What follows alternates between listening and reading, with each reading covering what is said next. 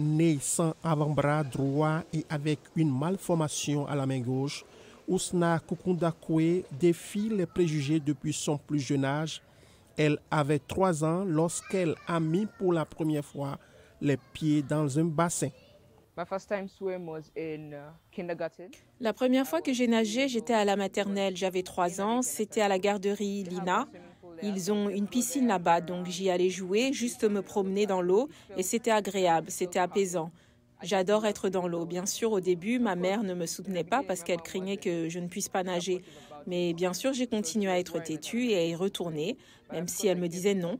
Elle a donc fini par céder.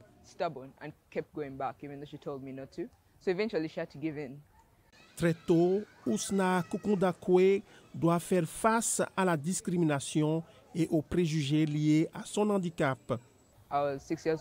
J'avais 6 ans, j'étais en primaire et à cette compétition, j'ai été discriminée bien sûr parce que j'ai eu ma première course et ça s'est bien passé de mon point de vue parce que j'ai réussi à terminer la course. Mais quand il est venu à la course suivante, je suppose que la personne qui était en charge de l'événement n'avait pas l'impression que j'étais assez bonne pour participer à cette course. Ils m'ont donc remplacée par quelqu'un d'autre. C'était certainement dégradant parce que je me souviens d'être partie immédiatement. Ousna Kukundakwe a participé à son premier championnat du monde à Londres en 2019. En y allant, mon objectif principal était d'inspirer les personnes avec ou sans handicap, en particulier les enfants, à réaliser leurs rêves dès qu'ils le peuvent, car j'ai réussi à y arriver à l'âge de 14 ans. Imaginez atteindre ce niveau d'athlète le plus élevé à l'âge de 14 ans. C'était une réalisation énorme et je voudrais que d'autres enfants atteignent leurs rêves dès qu'ils le peuvent.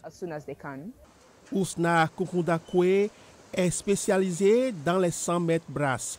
Pour elle, affronter des légendes et ces modèles de la paranatation en personne, celles qu'elle regardèrent sur YouTube, est une expérience incroyable et amusante.